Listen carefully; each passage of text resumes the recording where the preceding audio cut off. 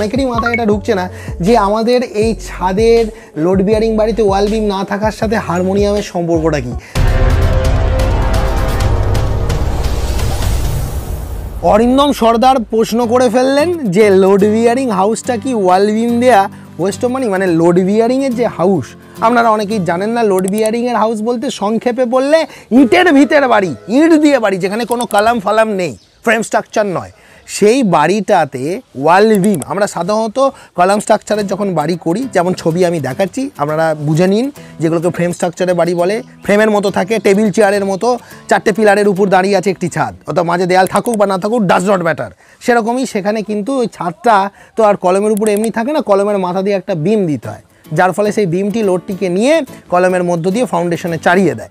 তাহলে এই প্রশ্নটা যিনি করেছেন, খুব গুরুত্বপূর্ণ প্রশ্ন কিন্তু, এই কনফিউশনটা শুধু ওনার একার নয়, অনেকেরই। অনেকেই মনে করে এবং আমরাও যখন যে সমস্ত বাড়ি করি, আমাদেরকে অনেকেই অর্থনৈতিকভাবে ইকোনমিক্যালি বাড়িটাকে করার জন্য এবং পয়সা খরচ বাঁচানোর জন্য ওই ওয়াল বিমটা দিতে দেয় না। কিন্তু আজকে আমি ইঞ্জিনিয়ার কিংসুক কুমার, ক্যামেরার সামনে আসল সত্যটা তুলে ধরবো। যে এই ইটের বাড়িগুলোতে নাকি ওয়াল বিমের প্রয়োজন হয় না, বা যদিও বা দেয়া হয় তো কীভাবে দেবো সেটা জানতে গেলে পুরো ভিডিওটা প্রথম থেকে শেষ পর্যন্ত দেখতে হবে। তার আগে যে প্রশ্নটা, যে মানে যেটা না বললেই নয় সেটা কিন্তু আমি আপনাদের সামনে তুলে ধরতে চাই সৌরভ ঘোষ, তিনি সম্ভবত একজন বিটেক ইলেকট্রিক্যাল ইঞ্জিনিয়ার তিনি তিনি আমাদের প্রশংসা করেছেন this is an amazing YouTube channel I am a B Tech electrical engineer I got a lot of help from you You are an amazing person. Your videos are really helping a lot of people. I am currently building a house for myself. I really got a lot of help from your videos. Thank you very much. এই যে বিভিন্ন ধরনের মানুষরা engineer, doctor, উকিল, বিভিন্ন পেশায় যারা রয়েছেন বিজনেসম্যান তারা কিন্তু ইঞ্জিনিয়ার কিংশুক কুমারের এই ভিডিও দেখে উপকৃত হচ্ছে তাই জন্য বলছি, এই ভিডিওগুলোকে অবহেলা করবেন না। প্রত্যেকটা মানুষ যারা আমার ভিডিও দেখছেন, তাদেরকে একবার হৃদয়ের ভেতর থেকে ধন্যবাদ জানাচ্ছি। আপনারা এইভাবে পাশে থাকলে, এবং পাশে থাকাটা বলব না, বলব যে এইভাবে যদি ভিডিওগুলো দেখেন তো আপনাদেরই লাভ।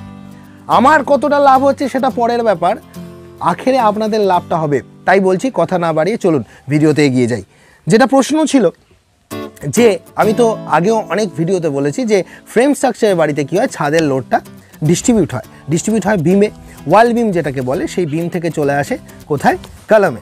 কিন্তু এখানে যেহেতু প্রত্যেকটি লোড বিয়ারিং হাউসের নামটা যদি একটু ভালো করে অ্যানালিসিস করেন, দেখতে পাবেন যে লোড বিয়ারিং তার মানে সমস্ত লোড কে বিয়ার করছে এই ব্রিকগুলো ইটগুলো অর্থাৎ এখানে ওই ছাদের লোড আলটিমেটলি কোথায় আসবে? ইটে আসবে। আচ্ছা বন্ধুরা, আপনি কি এখনও এই ভিডিওটি দেখেননি? যদি এই ভিডিওটি এখনও না দেখে থাকেন, তাহলে অতি সত্তর আই বাটনে ক্লিক করুন আর গিয়ে ভিডিওটা দেখে আসুন। আর যদি মনে হয় ভিডিওটা আপনি শেষেও দেখতে পারেন। এখন প্রশ্ন হচ্ছে, ছাদের লোড যখন ইটে আসছে, এই জাংশন পয়েন্টটা আমি ছবিতে একটু দেখানোর চেষ্টা করব। ছাদে আমরা কীভাবে রড বাঁধি? সাধারণত আমরা রড বাঁধি কি? যে আরের দিকে আমার মেন রড পড়বে এবং লম্বার দিকে আমার পড়বে হচ্ছে বাইন্ডার রড বোঝা গেল? এবার ঘটনা হচ্ছে, যদি আমার ওয়াল বিম না থাকে, আমরা কি করি? আমরা ঘর অনুযায়ী, ঘরের যে দেয়াল টু দেয়াল, সেই অনুযায়ী আমরা ভাগ করতে শুরু করি। যে দেয়াল থেকে যে দেয়ালের মাপ ছোট, সেদিকটাকে মেন রডের দিক ভাবি।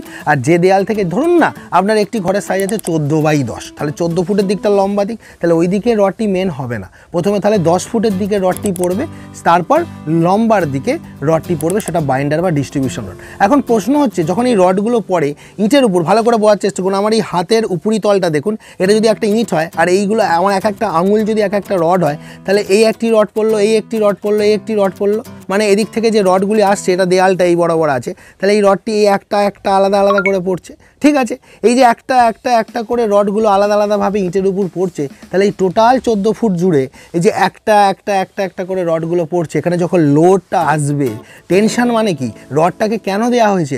ওই ফোলাটাকে আটকানোর জন্য? ওই টেনশনটাকে আটকানোর জন্য? যেটা আমরা ইংরাজিতে আমরা বলি না, যে ইঞ্জিনিয়ারিং ভাষায় যে টেনশন জোনে আমরা প্রোভাইড করি রিএনফোর্সমেন্ট মানে রড। পাতি বাংলা ভাষায় যে জায়গাটা ফুলবে সেই জায়গায় দেয়া হবে। রড। এই তো ব্যাপারটা। এত জটিল ব্যাপারটা নয়। তো এখন ঘটনা হচ্ছে, যখন আপনার এই লোডগুলো আসবে, লোড তো ওরা তো আর মানে মানে বিশাল বুদ্ধিসম্পন্ন মাথা নেই কংক্রিটের, যে কংক্রিট বুঝে নেবে যে এই জায়গাটায় লোড দেওয়া যাবে না, ওই জায়গাটায় লোড দেওয়া যাবে না। কংক্রিট কিন্তু লোড ডিস্ট্রিবিউট করতে চাইবে ইউনিফর্মলি। কিন্তু কিন্তু যেহেতু এই যে বারগুলো একটা একটা করে ইঁটের উপর রয়েছে, সেহেতু এই লোডগুলো এসে ওই একটা একটা বারের মধ্য দিয়ে কিন্তু প্রত্যেকটা জায়গায় যাবে। কিন্তু এর ফলে দিলে কি হবে? সমানভাবে কিন্তু ইটের উপর লোড পড়বে না। এর ব্যাখ্যাটা কিন্তু খুব জটিল। কিন্তু আমি চাইছি আপনারা সাধারণ মানুষ, কারণ আমার ভিডিও তো শুধু একজন ইঞ্জিনিয়ারিং স্টুডেন্ট বা একজন রাজমিস্ত্রি দেখে না, প্রত্যেকটা কমন ম্যান দেখে, যাদের এটা জানা দরকার। ওই জন্য আমরা কি বলি যে, যদি ওখানে ওয়াল বিমটা থাকতো, তাহলে কি হতো? ওই ছাদের লোডটা সঠিকভাবে বিমে আসতো আগে। বিমের মধ্যে টোটাল লোডটা চলে আসতো। তাহলে ভাবুন, তাহলে বিমের মধ্যে যখন টোটাল ওই একশো কেজি লোডটা চলে এলো, তখন ওই একশো কেজি, আমি যদি ধরি একশো কেজি, আমি এটা অনেক বেশি টন লোড হবে, হাজার হাজার কেজি, কিন্তু আমি বোঝানোর জন্য বলছি, ওই একশো কেজি লোডটা যদি বিমটা না থাকতো, প্রত্যেকটা জায়গায় আলাদা আলাদা আলাদা আলাদা করে পাঞ্চিং ফোর্স পড়তো।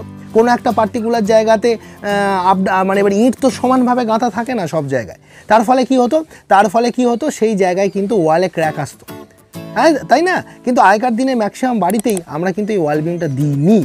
এবার এখানে অনেক চালাকি করা যায় ওয়াল বিম না দিয়েও, সেটা আমি পরে বলব যে ওয়াল বিম না দিয়েও ওয়াল বিমের মতো খানিকটা কাজ হবে, সেটা যদি ওয়াল বিম না দিয়েও করা যায়, সেটা কীভাবে করা যায়, সেটা আমি ভিডিও শেষে বলতো কিন্তু ওয়াল বিমটা থাকলে এখানে কী হতো? ন্যূনতম ছাদের নিচে ছয় ইঞ্চি ওয়াল বিমটা থাকলে আগে টোটাল লোডটা ভাগাভাগি হয়ে ওয়াল বিমে চলে আসতো। এই বিষয়ে কোনো সন্দেহ নেই। তারপর ওয়াল বিম থেকে যখন দেয়ালে ট্রান্সফার হতো, সেটা ইউনিফর্মলি ট্রান্সফার হতো। এই যে ইউনিফর্ম সমানভাবে আমি একটা ছবিতে তীরচিহ্ন দিয়ে দেখানোর চেষ্টা করছি যে সমানভাবে প্রত্যেকটা তীরচিহ্ন দিকে তাকিয়ে দেখুন লোডটা নামছে তাহলে কি হবে? তাহলে লোডটা সমানভাবে দেয়ালে যাওয়ার ফলে দেয়ালে কিন্তু ওইভাবে ফাটল আসবে না। এবার তারপর একটা লোড বিয়ারিং স্ট্রাকচারের বাড়িতে টানা লিনটেল থাকে। লিনটেল পর্যন্ত লোডটা চলে গেল, আবার লিনটেলের পর আবার সেটা চাড়াবে তার নিচের অংশে। বোঝা গেল? আচ্ছা বন্ধুরা, আপনি কি এখনও এই ভিডিওটি দেখেননি? যদি এই ভিডিওটি এখনও না দেখে থাকেন, তাহলে অতি সত্তর আই বাটনে ক্লিক করুন আর গিয়ে ভিডিওটা দেখে আসুন। আর যদি মনে হয়, ভিডিওটা আপনি শেষেও দেখতে পারেন।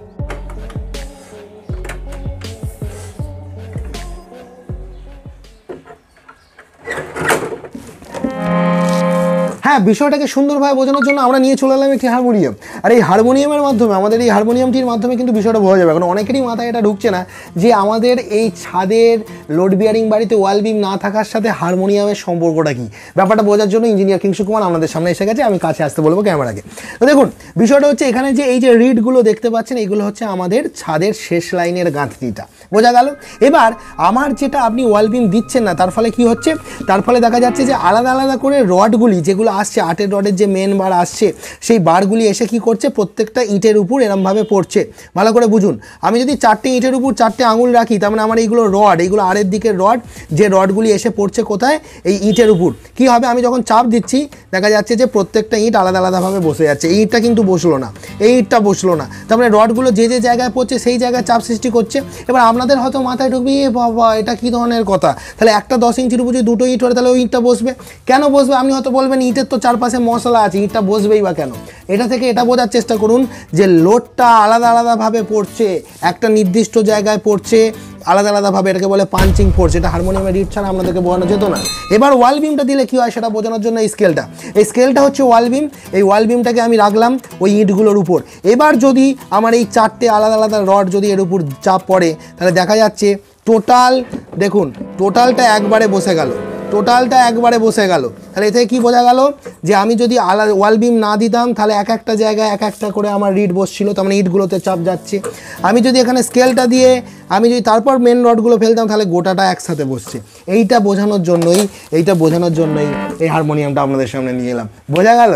এইখানে এইটাই ব্যাপার। এবার এই ব্যাপারটা এতটাই সূক্ষ্ম মানে একতলা বাড়িতে সাধারণত এইগুলো অতটা ম্যাটার করে না। কিন্তু যখনই বাড়ির উচ্চতা দুতলা বা তিনতলা হবে, তখনই কিন্তু এই বিষয়টা কিন্তু মাথায় রাখতে হবে। কারণ ছোটোখাটো জায়গায় অনেক সময় এই ছোটোখাটো ভুল ভ্রান্তিগুলো হচ্ছে নেগলিজেবল হয়ে যায়। মানে করলেও হয়তো ধরা পড়ে না, অনেকেই ওই জন্য তর্ক করে, এই তো আমার বাড়ি করে দিয়েছি, কয় কিছু হয়নি, আপনি যেটা বলছেন, এইসব তো কিছু লক্ষ্য করিনি। দিলে ভালো, না দিতে পারলে কি করবেন সেটা বলি। যখন আপনি এইভাবে ছাদের রড ফেলছেন, যদি আপনি ওয়াল বিম বানিয়ে না দিতে পারেন, অন্তত একটা কনসিল করুন। ছাদ, ছাদের যে ওয়াল পোর্শনগুলো রয়েছে, সেই জায়গায় একটা কনসিল বিম বসান। দশ ইঞ্চি দেওয়ালের মাথায় আড়াই ইঞ্চি বা সাত ইঞ্চি রিং করে ছবি দেখাচ্ছি। এইভাবে একটা কনসিল বিম অন্তত দিন। আপনি যখন রড বাইন্ডিংটা করবেন, আপনি যখন ক্র্যাঙ্কটা তুলবেন ক্র্যাঙ্কের নিয়ম অনুযায়ী একটি রড ওয়াল বিমের নিচে এটাও আমাকে একজন প্রশ্ন করেছিল। এটাও আমাকে একজন প্রশ্ন করেছিল যে ওয়াল বিমের রডগুলো কীভাবে হয়? কোন রডটা নিচে ঢোকে, কোনটা উপরে ঢোকে বুঝতে পারছি না। মেন রডটা যখন পড়ছে নিচে, নিচের পোর্শনে প্রথম যখন রডটা পড়ছে বটমে ওয়াল বিমের যে উপরের রডগুলি থাকে তার ভিত তলা দিয়ে ঢোকে। তলা দিয়ে ঢোকে। ছবিতে ভালো করে দেখাচ্ছি, বোঝার চেষ্টা করুন। আর ক্র্যাঙ্কের উপরে রডটা, যেটা হচ্ছে ক্র্যাঙ্ক ওঠে, সেটার রডটা ওয়াল বিমের উপরে যায়। এবার আপনি যদি আপনি যদি ক্র্যাঙ্ক সিস্টেমে আপনি যখন রড বাঁধবেন, তখন আপনি যদি ওই যে দেয়ালের মাথায় যদি ওই বিমটা না থাকে, তাহলে কোথা দিয়ে রডটা ঢোকাবেন? বোঝা গেল? তাহলে আপনাকে চেয়ার করে ওই খাঁচাটাকে রাখতে হবে। তাহলে সব থেকে বেটার হচ্ছে, আপনি যদি চান ওয়াল বিম করতে পারছি না, অন্তত কোনো একটা কনসেল বিম আর কনসেল বিমটা ওয়াল লাইনের উপরে থাকবে। আচ্ছা বন্ধুরা, আপনি কি এখনও এই ভিডিওটি দেখেননি? যদি এই ভিডিওটি এখনও না দেখে থাকেন, তাহলে অতি সত্তর আই বাটনে ক্লিক করুন আর গিয়ে ভিডিওটা দেখে আসুন। আর যদি মনে হয় ভিডিওটা আপনি শেষেও দেখতে পারেন। এবার যদি মনে করেন যে না আরও ফাঁকি মারবেন আরও ফাঁকি মারবেন। কিন্তু ইঞ্জিনিয়ারের যুক্তি অনুযায়ী চলবো, তাহলে আমি অন্তত বলব, প্রত্যেকটা দেয়াল বরাবর যদি কিছু বিম নাও দিতে পারেন, অন্তত ষোলো এম এর রড দুটি করে পরপর পরপর ওই চার ইঞ্চি ছাড়া দুটি ষোলো এম এর রড ফেলে প্রত্যেকটা দেয়াল। আমরা রাখি কি? আমরা ধরুন ম্যাক্সিমাম বাড়িতে দেখি তো আটের রড দিয়েই ছাদের খাঁচা বাঁধা হয়। সেটা মেন হলেও আট বাইন্ডার হলেও আট, পাঁচ পাঁচ গ্যাপে বেঁধে দেয়। তাহলে সেই আটের রডটা ওই ইটের উপর যাচ্ছে? ভেবে দেখুন তো। তা আটের রডটা ডিস্ট্রিবিউট কার কাকে করবে লোডটা সেখানে ওয়াল লাইনে রড কোথায়? আটের রড আটের রড আটের রডকে লোড দিচ্ছে।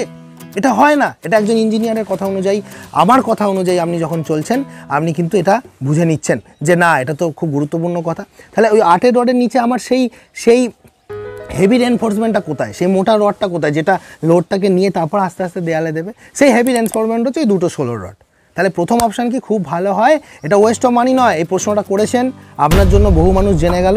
কিন্তু আশা করছি এই ভিডিওটার পর আর এই প্রশ্নটা আমাকে দ্বিতীয়বার যেন শুনতে না হয়। তাহলে এটা ওয়েস্ট অফ মানি নয়। এটা ওয়াল বিমটা নেসেসারি এটা করা উচিত। যদি না পারেন, তাহলে কনসেল করবেন। যদি সেটাও না পারেন দুটো করে ষোলো রড অন্তত দেয়ালের উপর দেবেন। ওই আটের রডের নিচে আটের রড আছে, সেটা দিয়ে দেয়ালে লোড যাবে না। এটা ছেলে খেলা নয়। ওটা ডিস্ট্রিবিউশন ওখানে লোড ওইভাবে ইটে ডিস্ট্রিবিউট হবে না। ওই আটের রডটা যেটা বাইন্ডারে দিয়েছেন, সেটা বাইন্ডার হিসেবে চলে। আর মেন রড সাধারণত দশের দেওয়া উচিত, কিন্তু আমরা পারি না। আমরা গ্যাপটা কমাই সেই হিসাবে আমরা আটের রড দিয়েই বাঁচছি। বোঝা গেছে? বোঝা গেছে? এইগুলো আরও ডিটেলসে আসবে। যারা ইঞ্জিনিয়ারিং স্টুডেন্ট তাদেরকে দেখো, প্রথম কথা হচ্ছে, ভিডিওটা সাধারণ মানুষদের জন্য বলি বলে ভিডিওতে এইভাবে বলতে হয়। আমার নতুন চ্যানেল আসছে। আমি আবারও বলছি, চ্যানেলে কাজ চলছে। নতুন চ্যানেল, আমার এই চ্যানেলটি এক লক্ষ সাবস্ক্রাইবার পূর্ণ করবে তারপরেই তারপরেই নতুন চ্যানেল লঞ্চ হবে। সেখানে কিন্তু প্রপারলি লোড ডিস্ট্রিবিউশন ফেনোমেনাগুলো বোঝাবো। প্রপারলি কিন্তু যে এখানে ম্যাথামেটিক্সগুলো আছে হ্যাঁ নেগেটিভ বেন্ডিং মোমেন্ট জোন সম্বন্ধে বলব, তারা কিন্তু ওই ভিডিওগুলো দেখার জন্য অপেক্ষা করতে হবে। ততদিন তোমরা সাধারণ মানুষের মধ্যে সাথে সাথেই এত সহজ বাংলা ভাষায় ভিডিওগুলো নিতে থাকো, আমি তোমাদের জন্য এগিয়ে আসছি। আচ্ছা আপনি এই চ্যানেলটি কেন সাবস্ক্রাইব করবেন জানেন? কারণ বাড়ি নির্মাণ বিষয়ে বাংলার একমাত্র কুমার কনস্ট্রাকশনই হলো এমন একটি চ্যানেল যেটা সঠিক পরামর্শ দেয়। তাই দেরি না করে অতি সত্বর আমার চ্যানেলটিকে সাবস্ক্রাইব করে রাখুন, আর এরকম ভিডিও প্রতিনিয়ত পেতে থাকুন। আচ্ছা এখন আপনাদের স্ক্রিনের সামনে এই যে দুটো ভিডিও চলে এলো, যারা এখনও দেখেননি, গিয়ে দেখুন আর মাঝের এই সাবস্ক্রাইবার বাটনটি ক্লিক করলে আমি ভিডিও ছাড়ার সাথে সাথে আপনি ভিডিও পাবেন। যার ফলে এই সমস্ত বিষয়ে আপনি সচেতন থাকবেন এবং আপনার বাড়িটা ভালো হবে।